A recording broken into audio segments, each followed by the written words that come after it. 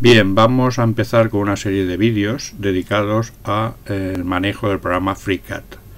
Como veis estamos ante un sistema operativo tipo Linux, pero el programa se maneja igual eh, tanto estemos en Windows como en Mac OS X. Bien, iniciamos el programa FreeCAD, lo tenéis aquí. Estamos en la versión, creo que es la 18 podemos mirarlo aquí, la 18.3, la 018. Es un programa en estado beta, aunque muy funcional, pero sí que hay una recomendación a hacer, que es eh, realizaciones de guardados eh, cada 10 minutos para eh, no perder el trabajo en el caso de que el programa se cuelgue o tengamos un programa con la alimentación del ordenador. Bien, eh, vamos a pinchar en, en crear nuevo. Estamos ante lo que sería el programa en sí.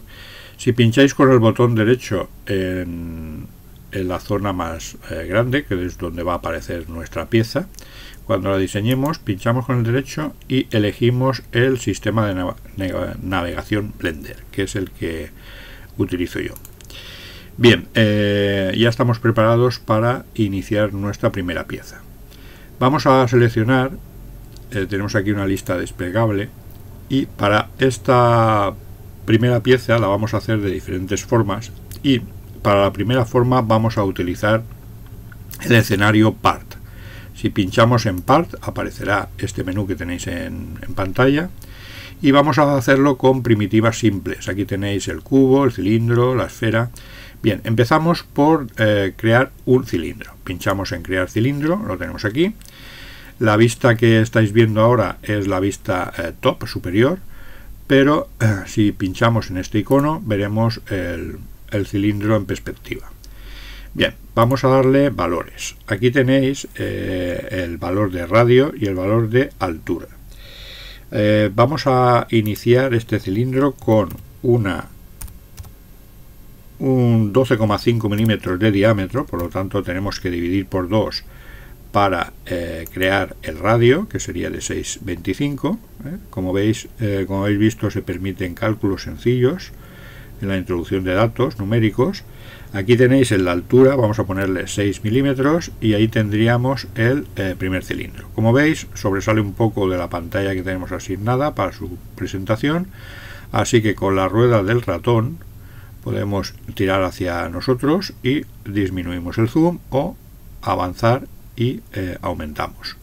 Si pinchamos con la rueda y movemos, vemos que podemos ver este cilindro en diferentes posiciones. Por ejemplo, la parte trasera del cilindro, eh, es decir, podemos rotar el cilindro. También podemos mover el cilindro, es decir, yo puedo pinchar el mayúsculas la flechita hacia arriba en la mayoría de los teclados y dejando pulsada, si pincho la rueda, vemos que podemos desplazar este cilindro eh, en todas direcciones. Bien, también podemos, eh, como veis, aumentar sin utilizar la rueda, podemos aumentar pulsando con el botón eh, control. Bien, vamos a dejarlo en esa vista y vamos a continuar. Lo siguiente es ir etiquetando los diferentes objetos que vamos realizando. El primer objeto mm, vamos a llamarlo, es decir, vamos a renombrarlo y vamos a ponerle el nombre de extremo izquierdo. Ahí está. Bien. Como necesitamos otro idéntico, lo que vamos a hacer, la forma más cómoda de hacerlo es pinchando con el botón derecho darle a la opción copiar, también lo podemos hacer con control C, y después pinchando con el derecho y pegar, control V. Y el siguiente objeto está ah, ahora mismo colocado en el mismo lugar que el original. Vamos a darle otro nombre, vamos a ponerle extremo derecho.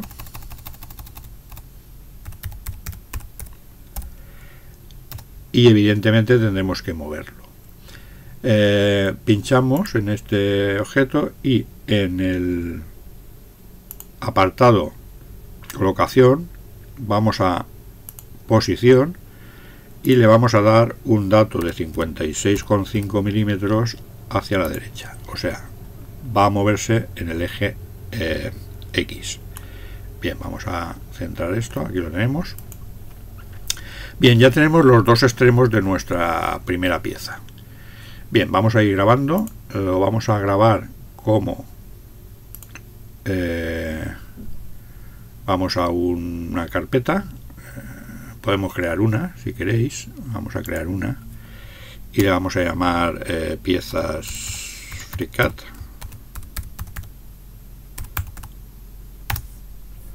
abrimos y esta va a ser nuestra primera pieza pieza 1 bien veis que aquí se ha colocado ya el nombre de nuestro fichero pieza 1 y lo que vamos a hacer a continuación es seleccionar los dos, eh, pinchamos con, eh, pulsamos en control y seleccionamos los dos elementos que hemos creado y le vamos a dar a la opción unir. Si nos quedamos un tiempo nos, nos dice qué misión o qué función hace cada uno de los botoncitos y esta en particular es hacer una unión de varias formas. Ya tenemos eh, la unión. Le ha dado el nombre de fusión, pero nosotros podemos renombrarlo y vamos a ponerle extremos a secas.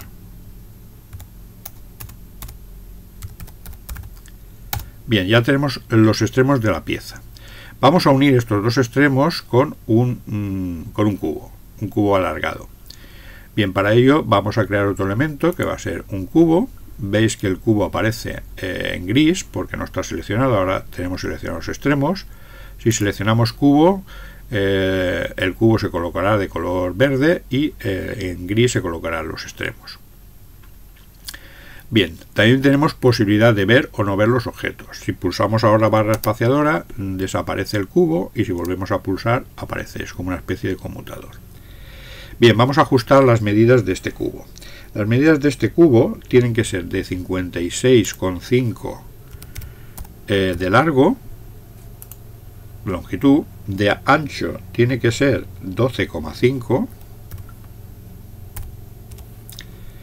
y de alto tiene que ser 6 milímetros. Fijaros que ya es igual de alto que los cilindros, eh, es igual de ancho, pero está desplazado. ¿Desplazado qué? Pues justo un radio, y como veis aquí abajo, eh, está desplazado en el eje Y y en la dirección negativa.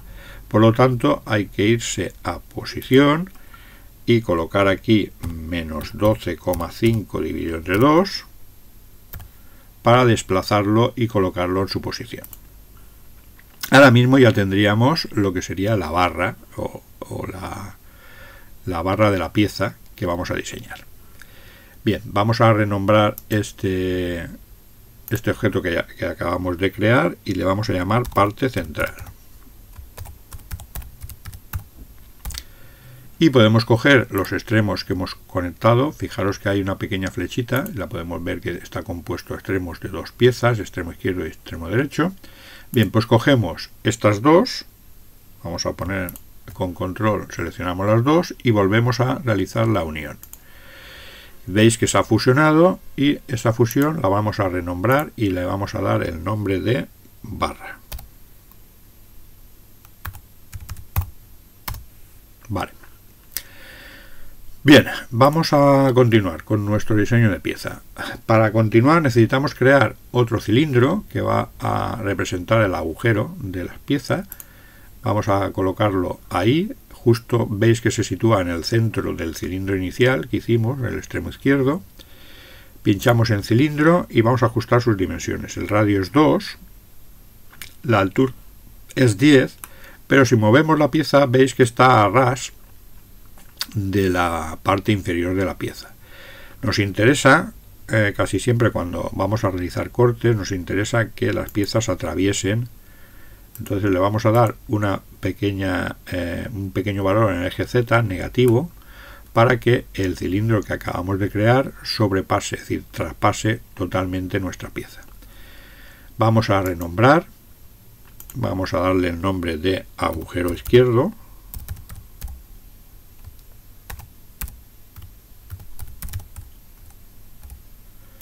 y hacemos la misma operación que hicimos antes, es decir, pinchamos con el botón derecho, le damos a copiar, volvemos a pinchar, le damos pegar y este agujero le vamos a renombrar como agujero derecho.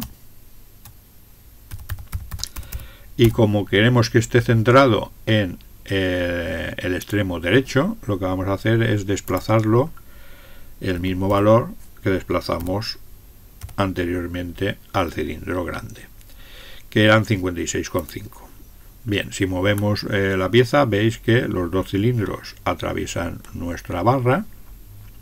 Vamos a unirlos seleccionando con la tecla control pulsada los dos y colocamos aquí esta opción y aquí lo podemos llamar ya agujeros a secas. Vale, ya tenemos eh, los dos agujeros unidos. Ahora muy importante, cogemos barra, seleccionamos siempre eh, la pieza de la que queremos quitar algo como primera opción, después le damos a control y la segunda opción agujeros y ahora en lugar de elegir unión elegimos intercesión, o sea corte, hacer un corte de las dos formas. Y como veis en la imagen vemos que el cilindro se ha quitado de la barra y agujereado ¿eh? la barra que teníamos diseñada antes.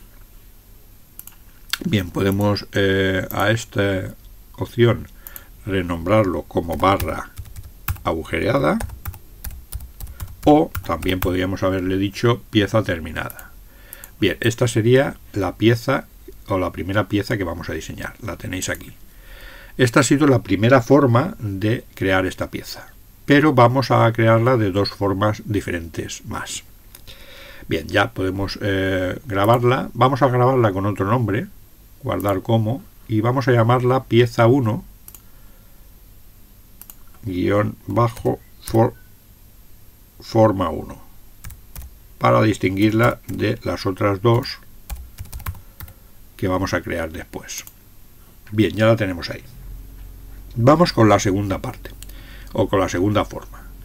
Vamos a archivo nuevo, vamos a crear otro, otro, otro, otra pieza nueva y vamos a hacerla o vamos a empezar con un cubo.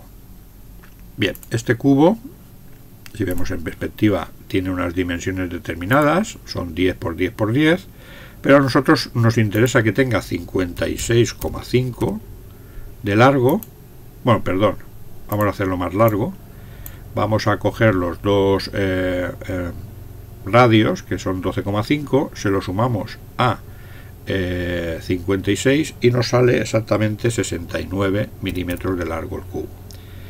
La anchura vamos a dejarla como la barra anterior, 12,5 milímetros y la altura 6. Vale, ya lo tenemos. Tenemos una barra larga de esa forma. Eso lo podemos llamar ya directamente barra.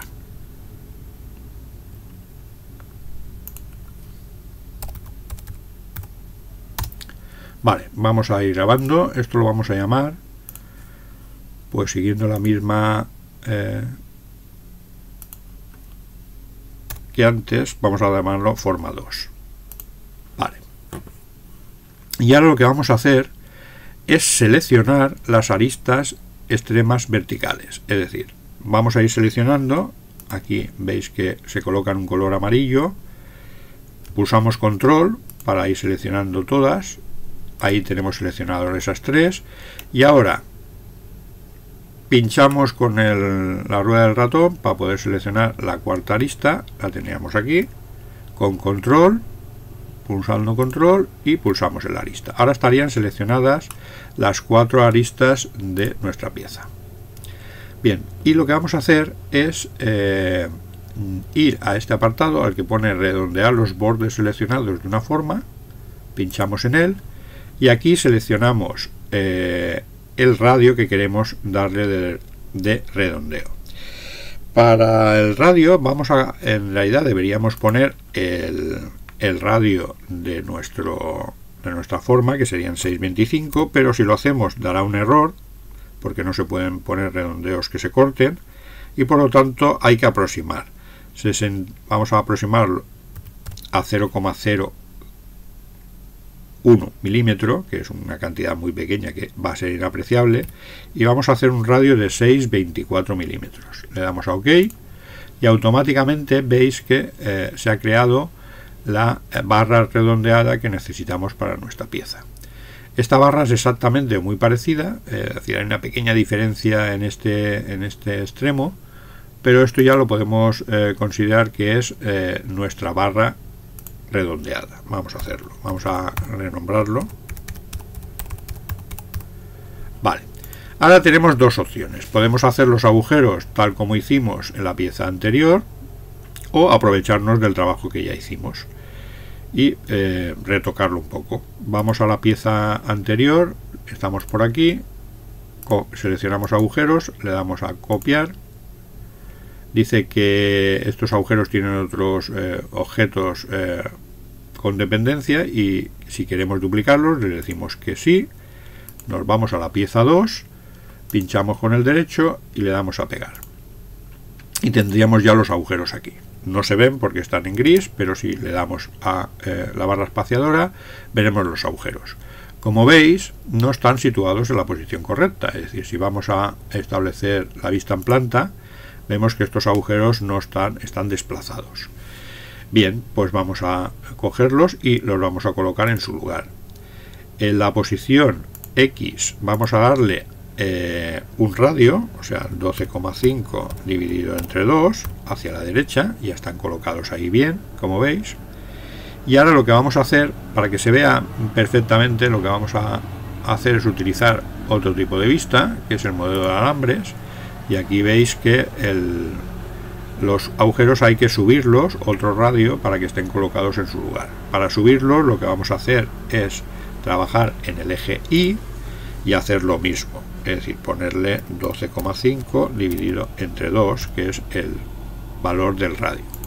Y ya están colocados, como veis, en su lugar. Podemos recuperar el modelo normal, como es. Vamos a verlo en perspectiva. Y veis que estos agujeros ya sobresalen de la barra que tenemos eh, redondeada. Bien, pues ahora simplemente cogemos la barra redondeada. Primera, primera pieza que hay que seleccionar es la en la que queremos hacer el corte, la segunda lo que corta y nos vamos a intercesión y simplemente se produce ese vaciado de los agujeros y ya tendremos, vamos a grabarlo, ya tendríamos la eh, segunda forma de realizar la mismo, el mismo objeto, el objeto barra. Vamos con la tercera forma. La tercera forma es un poco diferente a estas. Vamos a utilizar otro escenario y así aprendemos otro, otra manera que nos va a servir para realizar el resto de piezas que vamos a tener que hacer durante el curso. Bien, vamos a ir a archivo, le vamos a dar nuevo, le vamos ya a dar un nombre, guardar como y le vamos a poner pieza 1 forma 3. Vamos allá. Vale, pero ahora en lugar de utilizar el escenario par, vamos a utilizar el escenario eh, par de sync ahí lo tenemos. Fijaros que la primera eh, operación es crear un cuerpo, que es lo que vamos a hacer. Vamos a crear un cuerpo y dentro de crear un cuerpo, la primera operación que tenemos que hacer cuando creamos un cuerpo es crear un croquis. Bien, pues pinchamos en crear un croquis y ahora hay que seleccionar, vamos a verlo en perspectiva que se ve mejor, ah, hay que seleccionar un plano. Como veis hay un plano XZ, hay un plano XY y hay otro plano que aquí está un poco escondido que lo tenéis en IZ. Bien, en este caso vamos a crear la barra en el XY, eh, en el plano, por decirlo así, que tenemos horizontal. Y le damos a OK. Aparece aquí una especie de rejilla en el que podemos diseñar piezas en 2D o dibujos en 2D con estos elementos que tenemos aquí, puntos, líneas, eh, arcos, eh, cilindros, etcétera y vamos a representar lo que sería la forma en planta de nuestra barra. Para ello, ¿qué vamos a hacer? Bien, pues primero vamos a hacer un arco, seleccionamos la herramienta arco, nos situamos justo en el origen, veis que aparece un puntito, eso quiere decir que he seleccionado justo el origen, pincho como centro de nuestro arco y lo extiendo. Ahora me voy hacia arriba y lo que hago es eh, pinchar cuando vea que aparece el símbolo de toque con el eje es decir lo tendréis aquí veis aquí este símbolo vale pues lo colocamos ahí ahí lo teníamos y ahora me muevo, me muevo, me muevo, me muevo hasta la parte de abajo hasta que aparezca también ese símbolo. Y ya tendríamos el arco. Fijaros que lo único que falta del arco, es decir, el arco está posicionado en una posición determinada, fija, pero lo que le falta son las dimensiones. Es decir, este arco todavía eh, podría ser más grande o más pequeño.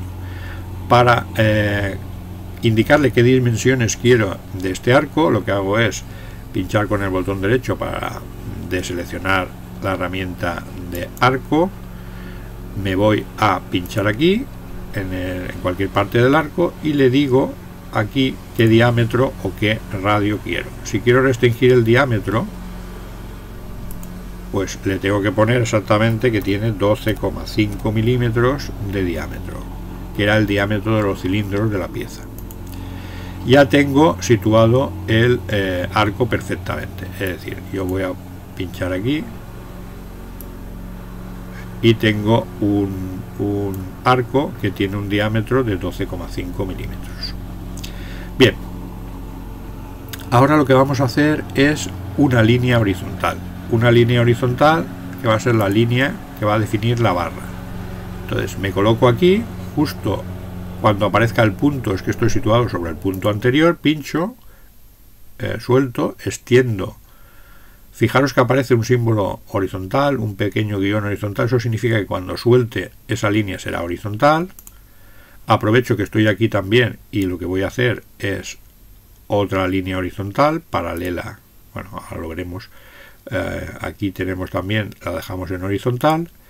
Y ahora quiero que estas dos líneas sean justo de 56,5 milímetros de longitud. Para eso lo que hago es definir otra restricción. Pincho con el derecho para deseleccionar la línea. Pincho aquí las dos. No sé si lo admite con dos, vamos a probar. Le doy aquí. No. Solamente lo admite con una línea, pues vamos a hacerlo en dos partes. Eh, le digo que la longitud va a ser 56,5 milímetros Vale. Cambio el zoom y eh, cojo la otra línea y le doy la misma longitud, 56,5 milímetros.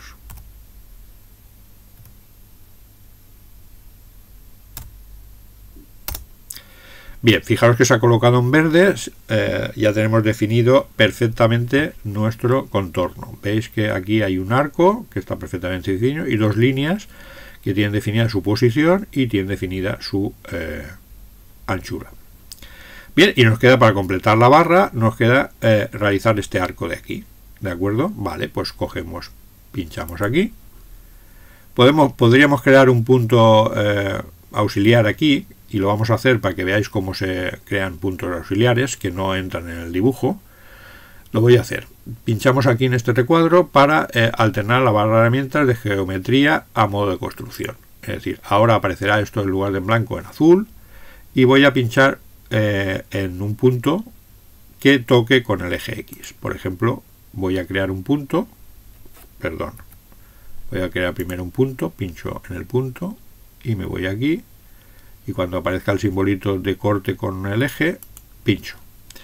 Bien, ahora lo que hay que hacer, evidentemente, que este punto tiene que estar a 56,5 milímetros del origen. Bien, pues lo que voy a hacer es pinchar derecho, selecciono los dos puntos, un punto por aquí, otro punto por aquí, y le digo que esa distancia quiero que sea también de 56,5 milímetros. Ok. Vale, y ahora lo último que me queda por realizar es cambiar a modo construcción, pincho aquí, están en blanco, cojo el arco, selecciono el punto auxiliar que he creado antes, cuando aparezca un puntito es que estoy ahí seleccionando ese punto, me voy al punto superior, muevo hasta llegar al inferior y tengo ya el otro arco que cierra nuestra figura. Ya tengo la figura perfectamente definida y por lo tanto puedo cerrar. Veis que aquí aparece en perspectiva por decirlo así, el contorno de la barra que queremos crear y lo que vamos a hacer es extruirla, es decir, subirla, darle una tercera dimensión.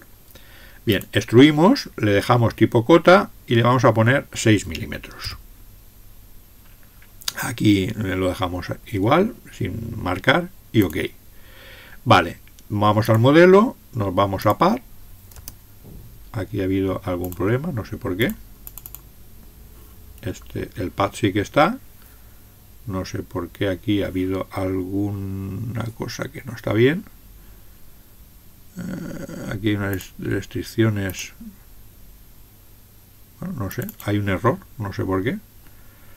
Se ha ido un poco nuestro... A ver si es por el punto este que hay aquí. Vamos a borrarlo, a ver.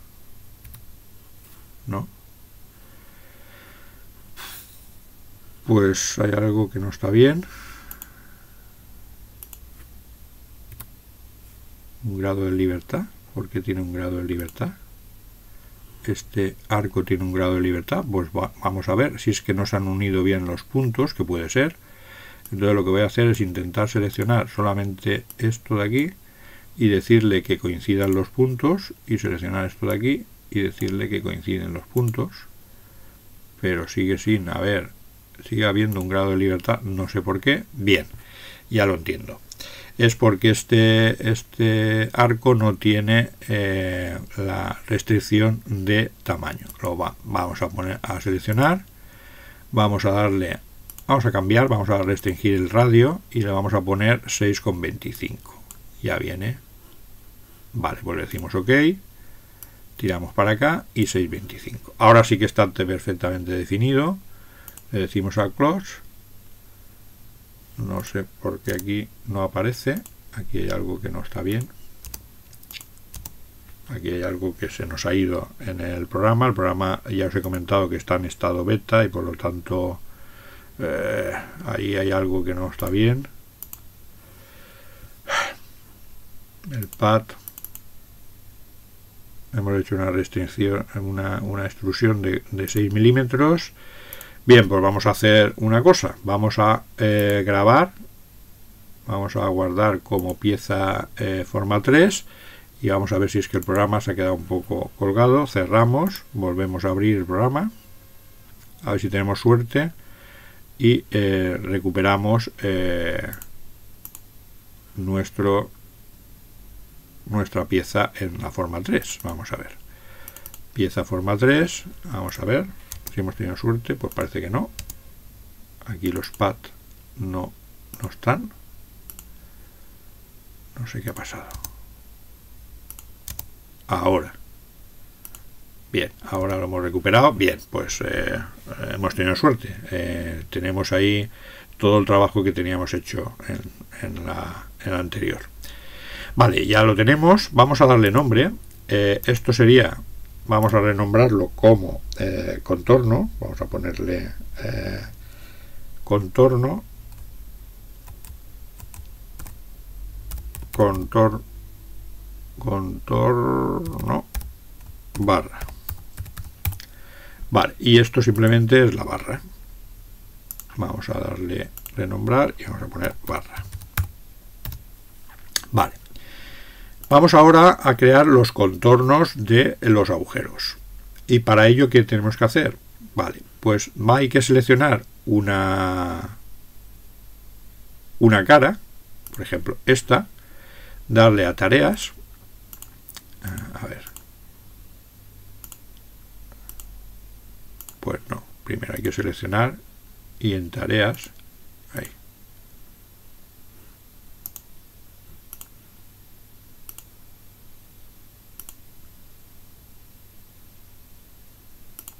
No, aquí hay algo que no está bien.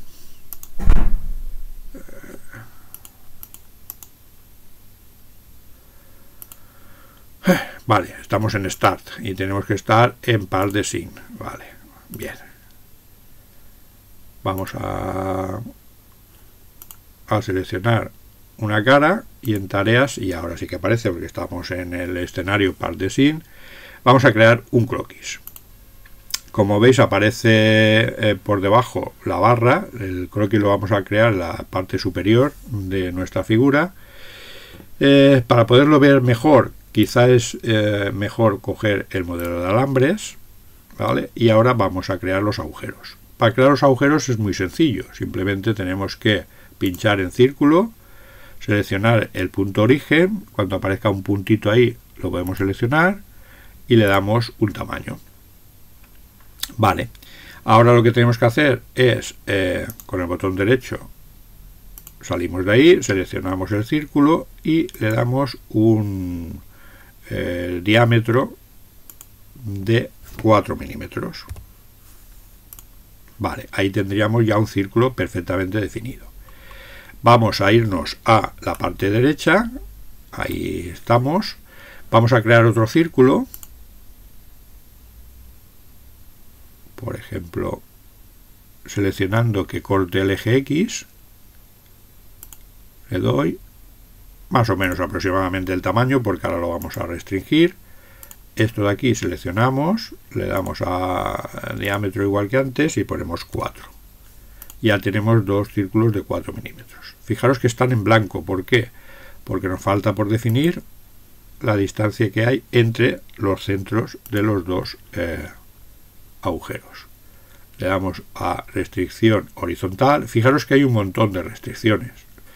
Si queréis las, las explico por encima. Esta restricción sería que los dos puntos coincidan, esta que el punto toque en un eje o en un arco, esta que sería una restricción de que la línea tiene que ser vertical, esta que sería horizontal, esta que las dos líneas seleccionadas son paralelas, esta que las dos líneas son perpendiculares, esta que es tangente a un arco, la línea que ya hemos seleccionado, esta de aquí que son iguales, las dos líneas, esta de aquí sería una simetría, hay que seleccionar dos eh, cosas, dos líneas, dos arcos y un eje y entonces eh, lo que estarán separadas la misma distancia de ese eje. Vale, esto de aquí eh, es para una restricción, crea un bloque de restricción desde el objeto seleccionado.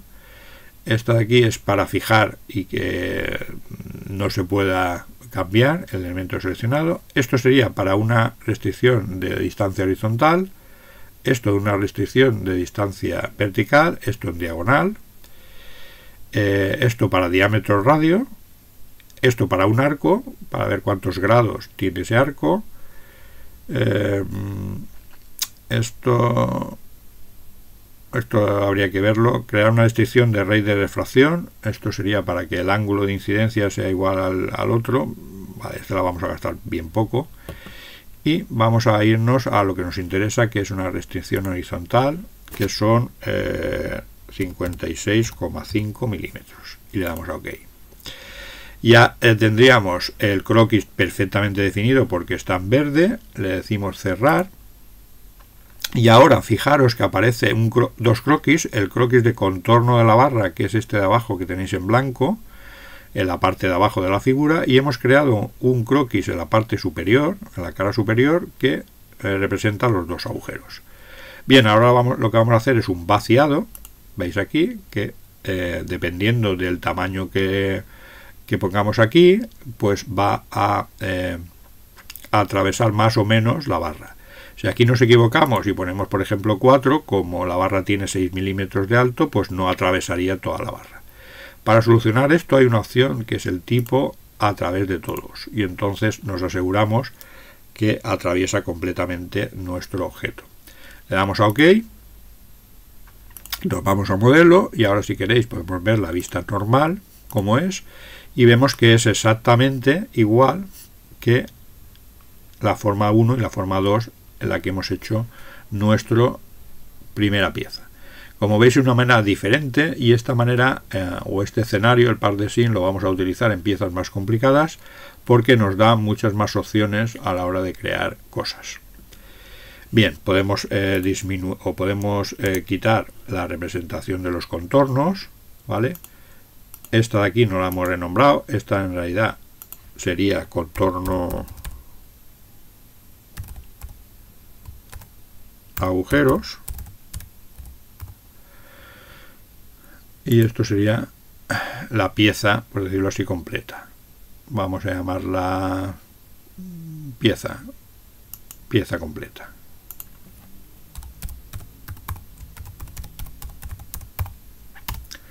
Bien, tenemos una opción bastante interesante que es, está en el menú herramientas, gráfico de dependencias, y aquí podemos ver cómo eh, se relacionan los diferentes elementos que hemos creado.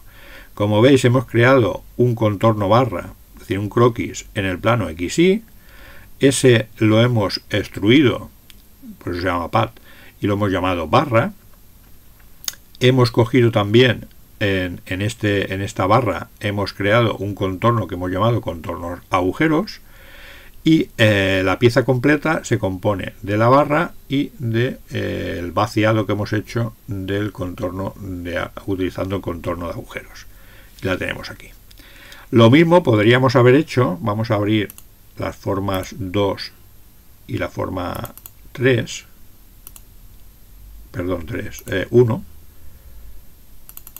y también podemos ver su gráfico de dependencias por ejemplo en la forma 2 si vamos a gráfico de dependencias, es mucho más simple, porque hemos creado una caja o una barra con un cubo. Esa barra la hemos redondeado utilizando la opción fillet. Ya tenemos la barra. Y ahora hemos hecho un eh, corte entre esa barra y los dos agujeros, el izquierdo y el derecho, que hemos fusionado en una sola unidad que hemos llamado agujeros. Esa sería por decirlo así, la relación de dependencias de la forma 2. Y si nos vamos a la forma 1 y volvemos a pinchar aquí en gráfico de dependencias, pues tenemos, como veis, eh, tenemos dos eh, extremos, extremo derecho y extremo izquierdo, que lo hemos hecho con cilindros, lo hemos fusionado con, lo hemos llamado extremos, después hemos eh, creado una parte central con, con, un cubo y la fusión de la parte central y los extremos la hemos llamado barra. Después hemos creado aparte dos agujeros con dos cilindros, lo hemos fusionado en agujeros y después hemos hecho un corte entre la barra que hemos creado antes con los agujeros y tendremos la pieza definitiva que hemos llamado barra agujereada. Vale, ¿Qué nos queda por ver eh, de este ejercicio? Pues de este ejercicio nos queda por ver cómo podemos, eh, por decirlo así, crear una especie de documentación de la pieza que acabamos de diseñar. Eso lo podemos hacer con cualquiera de, los, de, los, de las formas que hemos empleado. Lo vamos a hacer, por ejemplo, con la forma 1.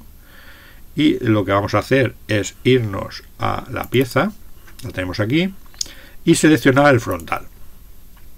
Ahora veréis por qué eh, selecciono el frontal de la pieza. Bien, nos vamos a ir a otro escenario. Este escenario es el escenario Tech Draw. Lo tenemos aquí.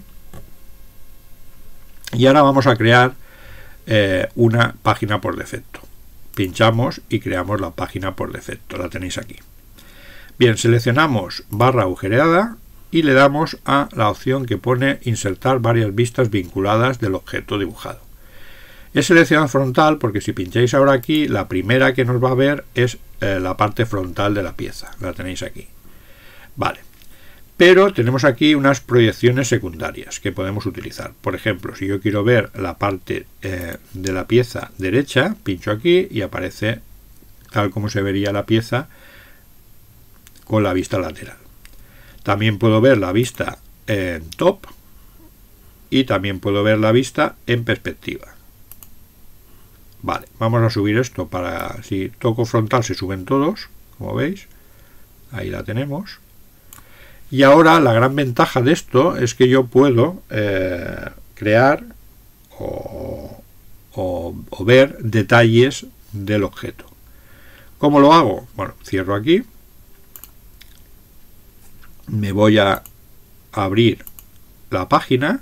Tenemos aquí eh, selecciono top, que es donde quiero crear mi eh, detalle, y me voy a este icono que pone aquí, ¿vale? Insertar vista de detalle. Pincho aquí y el detalle en sí, como veis, es muy anodino porque es la parte central de la pieza top. Bien, pues lo que hay que hacer es irse con eh, la opción, vamos a ver si la encuentro, Anchor, aquí, ir moviendo esto hasta que tengamos vamos a moverlo por ejemplo calculo yo que unos veintitantos 25 para que tengamos el detalle que nosotros queremos. El detalle va a ser el diámetro del agujero y aquí veis que aparece el detalle. Pero aparece el detalle en, eh, por decirlo así en una escala de 1 por lo tanto lo que hay que hacer es seleccionar detalle y en la escala aumentarla hasta que se vea eh, mucho mayor veis ahí que la vista se ha aumentado eh, hemos aumentado la escala bien la siguiente operación que vamos a realizar es primero darle nombre a diferentes vistas eso se hace seleccionando y en la opción Caption ponemos, por ejemplo, frontal. Aquí vamos a poner eh, lateral.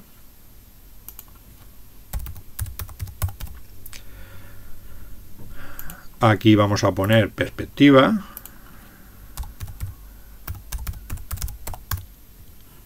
Y aquí, por último, vamos a poner superior. Son vistas ¿eh? de la pieza desde diferentes ángulos. Bien, y aquí en detalle, pues también podemos pinchar en detalle y darle, a ver, detalle 1.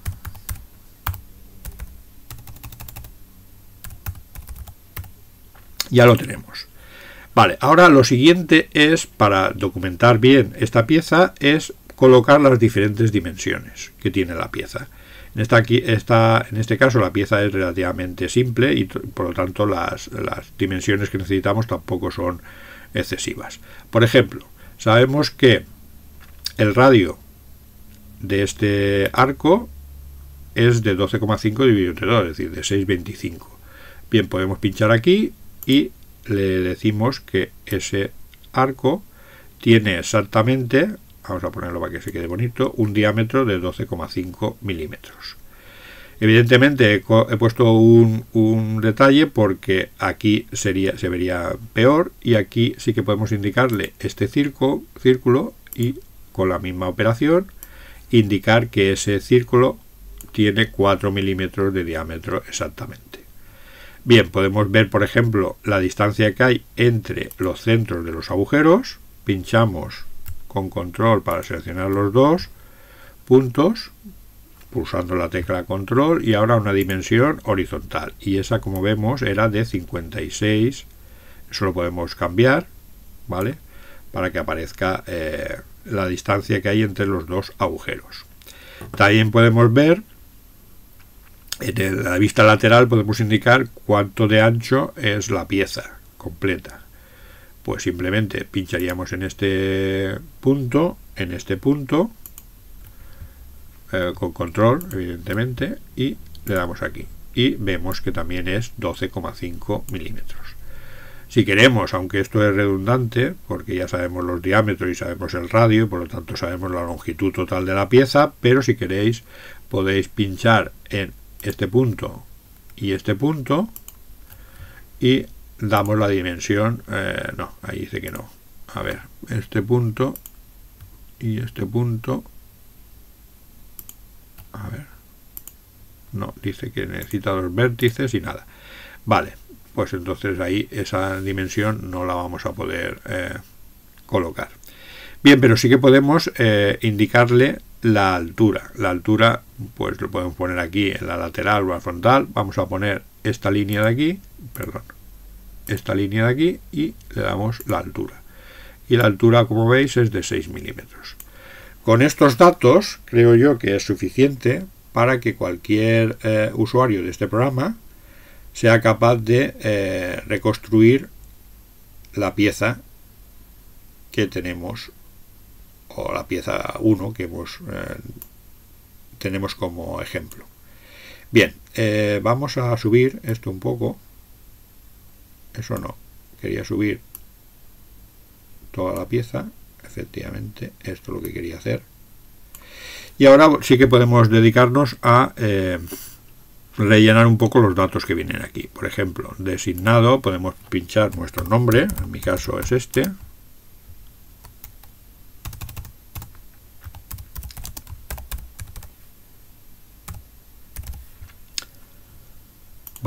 Después tenemos el, día, la fecha, pues ponéis el día que sea. No sé, pongo por ejemplo 22 09 2019. Después el título, pieza 1. Aquí en su título podéis poner, por ejemplo, forma 1.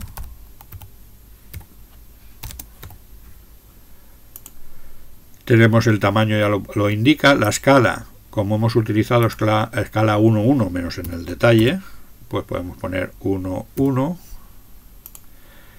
El peso, el peso de la pieza, si lo queréis ver en gramos, esta pieza en particular pesa 3,6 gramos. Si lo vamos eh, a dar en kilogramos sería este valor.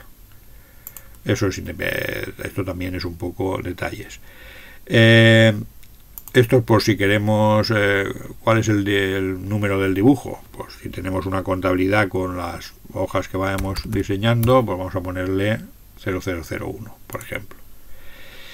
Y el sheet, aquí sí que pondría uno de uno, porque solamente tiene en este caso una hoja. Aquí tiene un simbolito, un icono del programa FreeCAD, pero también podemos incluir una imagen. Eh, creo que tenemos por aquí el botón insertar un mapa de bits. Pues si queréis podéis pinchar aquí. Eh, no sé si tengo alguna. Vamos a ver si, si tuviera alguna imagen de algún logo o alguna cosa de estas. Vamos a ver. Logo cabanilles, pues sí, sí que tengo alguno. Vamos a ver si este serviría. Uy, un poco pequeño vamos a redimensionarlo un poco. Eh, la imagen la podemos redimensionar si ponemos aquí unos valores. Por ejemplo ponemos yo que sé 400 vamos a ver si con 400 tenemos bastante. No vamos a dar un poco más. 580 vale ahora sí que parece que está entera. Y en cuanto a la anchura 100 me parece mucho. Vamos a ponerle 60. Bien, eso ya ajustamos un poco hasta que la imagen se nos vea eh, con el tamaño que queramos y que se pueda incluir aquí sin problemas. Vale, eh, ya para acabar lo que haríamos sería irnos a archivo, eh, vista previa de impresión, vemos si la impresión es como queremos, las imágenes más o menos están en su sitio, Vamos a aumentar para que veáis los pequeños detalles. Vale, pues parece que sí, que más o menos está con todo, se ve perfectamente. Aquí lo único, mover un poco el 56,5 que cae justo encima de la palabra superior. Esto lo podemos subir para arriba, esto lo podemos mover un poco hacia abajo. Ahí. Vamos a bajar esto un poco, así. Vale, esta podríamos subirla un poco para que suban todas las piezas y así quedaría mejor.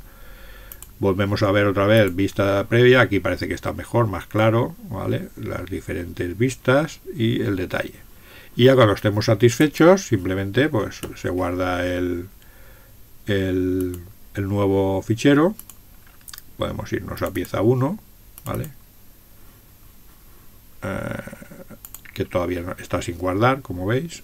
Dejamos una vista en perspectiva, ya tenemos esto creado de página. Y aquí sí que conviene guardarlo con otro nombre. Por ejemplo, eh, nos vamos a, a hemos visto que estaba en piezas FreeCAD. Y aquí podríamos poner forma 1, que es la que hemos utilizado, y doc de documentación. Y guardamos.